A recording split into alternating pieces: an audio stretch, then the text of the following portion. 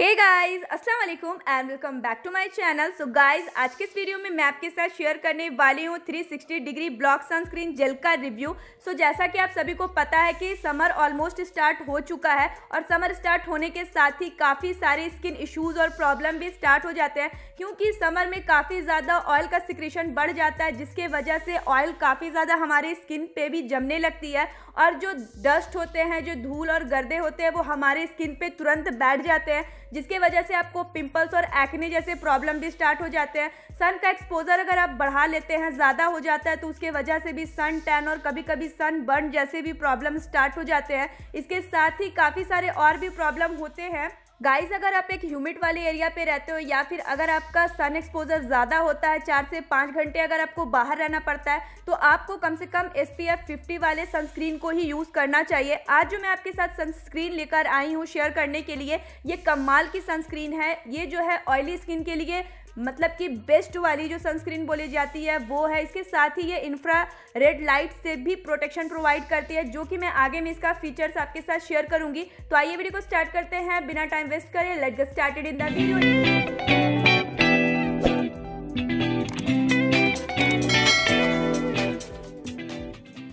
guys start करते हैं इसके पैकेजिंग से. पैकेजिंग आप देख सकते हैं इस तरह के व्हाइट कलर के कार्टन के बॉक्स पे आती है. इसका जो बॉक्स है वो मुझे थोड़ा सा बड़ा लगा इसके प्रोडक्ट के हिसाब से.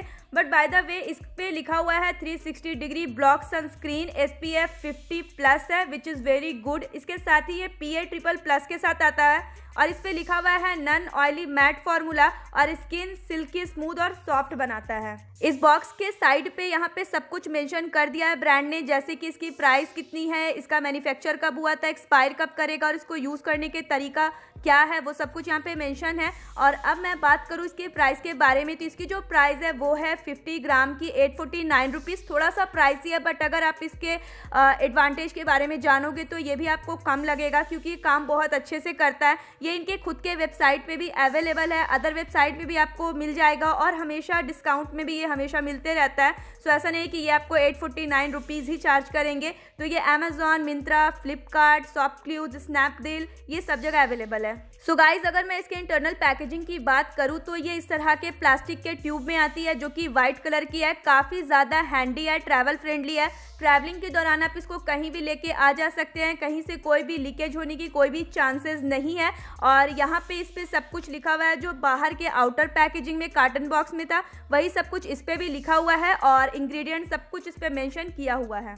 सो गाइज़ अब मैं बात करने वाली हूँ इसकी कंसिस्टेंसी और टेक्सचर के बारे में। इसकी जो टेक्सचर है, वो काफ़ी ज़्यादा थिक है और स्किन पे मैट फिनिश लुक देता है क्योंकि इसके अंदर सिलिकॉन का इस्तेमाल किया गया है इसलिए ये ऑयल को कंट्रोल करने में काफ़ी ज़्यादा हेल्पफुल होता है और ये बिल्कुल शील्ड की तरह हमारे स्किन पे काम करता है।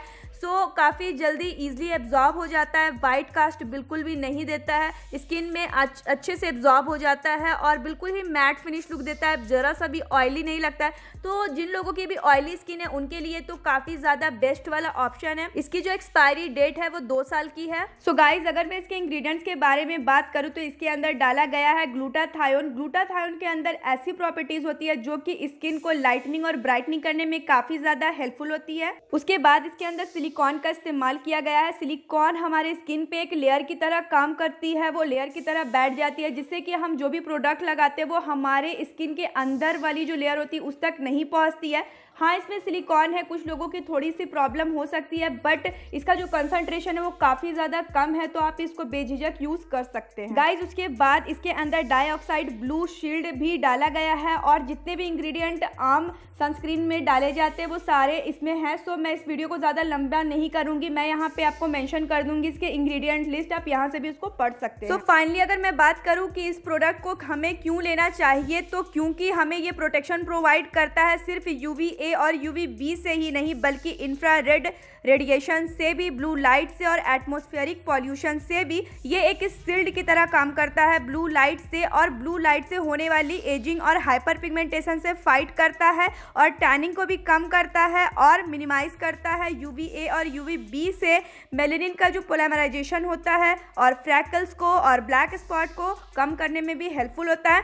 और स्किन में स्किन लाइटनिंग इफ़ेक्ट देता है। ये हार्मफुल फ्री रेडिकल से प्रोटेक्ट करता है। ये स्किन में एजिंग के साइन को फाइन लाइन्स को रिंकल्स को कम करता है। साथ ही ये स्किन में एक मैट फिनिश लुक देता है। नॉन ऑयली होता है सिल्की और स्मूथ बनाता है और स्किन को सॉफ्ट करता है। सो so गाइज़ ये एक मस्ट बाय प्रोडक्ट है हाईली रिकमेंडेड है। सो so गाइज़ अगर आपको ये पसंद आया वीडियो तो hit the like button and don't forget to subscribe my channel it's absolutely free मैं आती हूँ एक नेक्स्ट वीडियो के साथ। तब तक के लिए टिल टेक